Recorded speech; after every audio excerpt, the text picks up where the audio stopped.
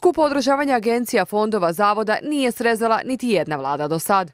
I oni tek sada uočavaju da postoje problemi u agencijama. Ako ti problemi postoje ili su postojali, onda ih je vjerojatno trebalo početi rješavati odmah u prvoj godini. Ali ako spominjemo agencije, postoji jedna institucija koja ima veliki trošak e, za hrvatski proračun, a to je ured bivšeg predsjednika. Ako bi se negdje moglo štedjeti, onda je svakako na ukidanju tog ureda.